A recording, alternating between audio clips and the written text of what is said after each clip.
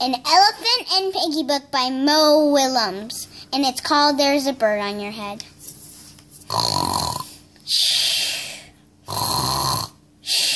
Hmm? Piggy! Is there something on my head? Hmm? Yes. There's a bird on your head. There's a bird on my head. Ah!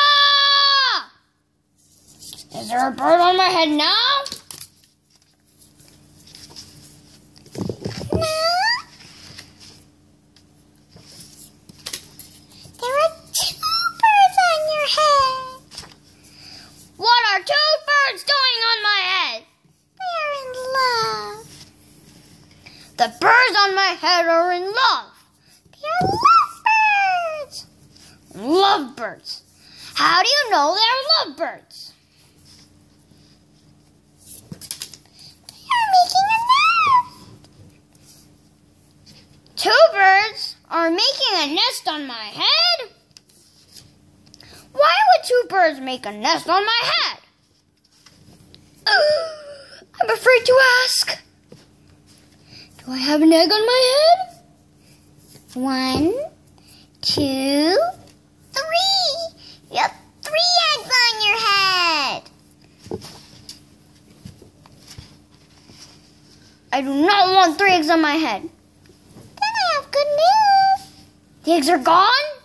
The eggs are hatching. Hatching? The eggs on my head are hatching? Cheep, cheep. They have hatched. Now I have three baby chicks on my head and two birds in a nest.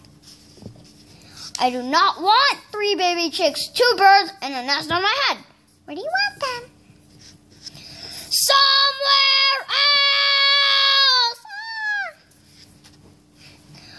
Why not ask them to go somewhere else? Ask them! Ask them! Okay, I will try asking. Excuse me, birds?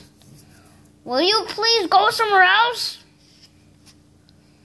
No problem. It worked. Bye. Now there are no birds on my head. Thank you, Piggy. Thank you very much. You're welcome. The end. And that's the end. Yay, bye.